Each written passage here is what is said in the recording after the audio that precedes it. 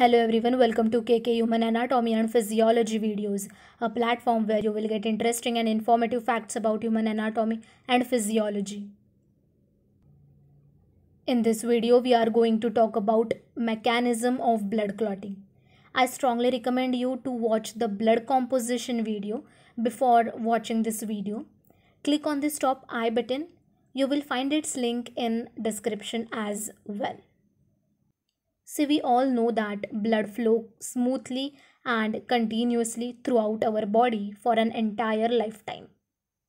But when you get a cut or injury, the blood changes from liquid to partially solid. This blood clotting is also called blood coagulation. See, blood clots are normal, healthy, and life saving when they stop bleeding but sometimes they can also form where they aren't needed, such as in the deep veins in the legs or the arteries of the heart. These clots do not dissolve on their own and can be dangerous to your health. They can cause a heart attack, stroke, or other serious medical problems. Blood clotting involves interaction of various substances called clotting factors by stepwise or cascade mechanism. So, clotting or coagulation is the process of converting the liquid blood into a solid form, okay? We will go step by step so that you will understand this process in detail. Injury See, when you get cut, that is injury, what happens first is blood vessel is severed. Blood and blood components like RBCs, WBCs leaks out of the break. Okay. The next step is vascular spasm. What happens next is smooth muscles in the vessel wall contracts near the injury point and this reduces blood loss. Third important step in blood clotting is platelet plug formation. Now see, when injury occurs, platelets gets activated by chemicals released by the injured cells and by contact with broken collagen. Now, these bound platelets releases chemicals that activate and attract other platelets. This results in the formation of platelet plug. Fourth important step is coagulation. This process may be initiated by contact of blood with any foreign surface or with damaged tissue. There are two pathways.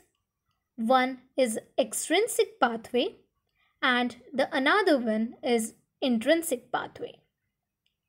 You will get information about these pathways in my upcoming video.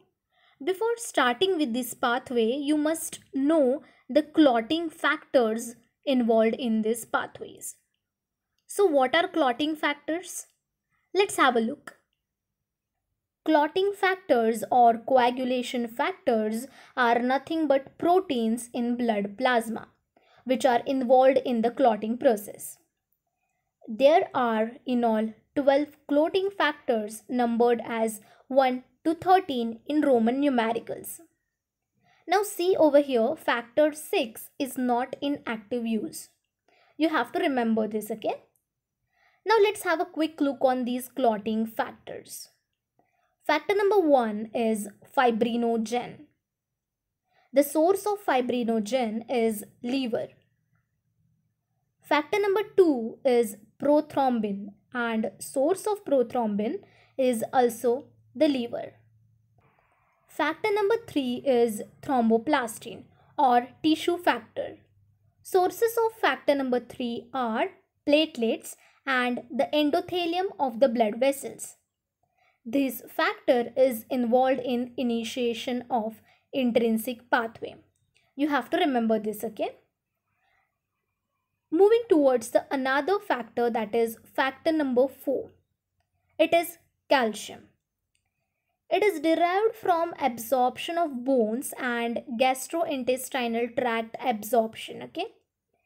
It's the most important ion involved in almost all of the reactions in intrinsic as well as extrinsic pathways. Factor number 5 is a labile factor also called proaccelerin. Sources of factor number 5 are platelets and liver. Factor number 6 is not in active use.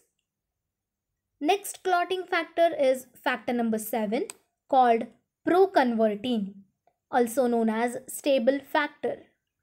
Source of this factor is the liver. Factor number 8 is antihemophilic factor A and its source is endothelium of the blood vessels. See, the deficiency of this factor number 8 causes classical hemophilia. Okay, so what happens in this disease? It is a disease in which um, blood doesn't clot easily. Okay, then the another factor that is factor number 9 is antihemophilic factor B, also known as Christmas factor. Its source is the liver. Factor number 10 is Stuart-Prower factor. Its source is also the liver. Moving towards next factor that is factor number 11 also called as plasma thromboplastin antecedent. Its source is liver. Deficiency of factor 11 causes hemophilia C, also known as Rosenthal syndrome. Factor number 12, also known as Hageman factor, its source is also the liver. Moving towards next important factor that is factor number 13. It is also called fibrin stabilizing factor or Laki-Lorand factor.